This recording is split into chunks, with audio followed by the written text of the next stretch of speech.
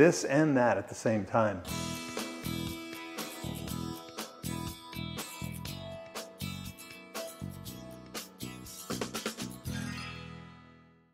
So we are standing in one of the greatest statements that we've ever built in a home. Dad's very proud of it. It was Yeah. all his idea. So this is just a really, really cool feature in this home. And as we go in and see the details of how thick everything is, uh, you'll never know how thick it really is. You mean how thin? How thin it is whenever you see how thick it could be. Yep. But we did this not only here,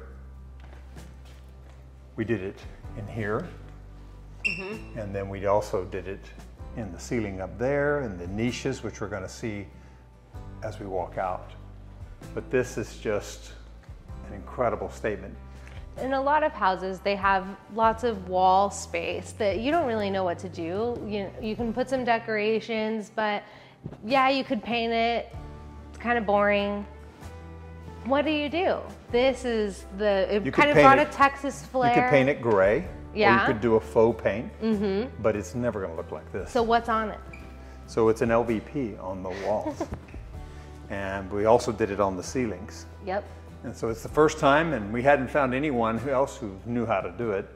So we, we came up with a new way of, of installing this product on the wall, and we love it. More importantly, the client loves it. It's, it's everything they, they thought it would be, and uh, it took some convincing, even from some of the staff to me, from me to the, some of the staff to, to show them how we could do this. So we have actually did some, some samples and some experiments at the office since it was the Yeah. first one of this kind that we had done.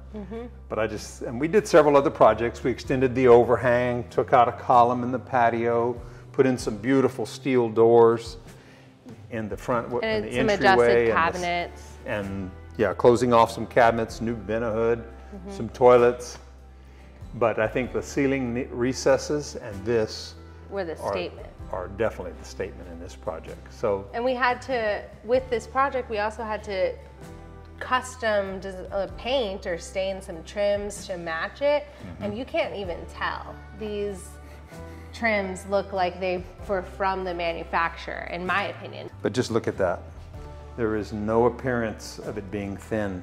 It's No. actually thin, but because of the custom trims, it gives that appearance of being thick wood throughout. So you can have this. And do you see the brush marks and everything that we did on those trims? This isn't just a stain. This, This is, is like, a, true accenting piece. yeah. Yeah, that's that shows the quality of our stain guys, doesn't it? Mm-hmm. Great paint job. Yeah. But this is just uniform all the way across now. Yep. It really makes a statement. Now, from here, Justin can show you that ceiling way up there that we did. so I want you to see these niches, this scaffolding and all, got it up in there. Again, just really, really tied it together. Beautiful, beautiful niches. You don't really have to put any artwork in these niches because they're so, they, they pop so well. But I love when you walk in and you see this and that at the same time. That was, Yes. a, that was a dramatic effect, wasn't You know, it? at first I was kind of worried that it was going to be too much, but I think it would have been like, where did that come from? If we hadn't had these other little accents. Now it's a feature of the home throughout both floors. It really ties it together Yeah. Mm-hmm. when you walk in and you see that and that at the same time. I, Yeah. I, I think it's got just enough separation, but Mm-hmm. it pulls your eye to it. Yeah, it needed it in all parts of the home just a little bit to make it like feel a part of the home. Yeah, this is awesome. Yep. I hope more people want to do it.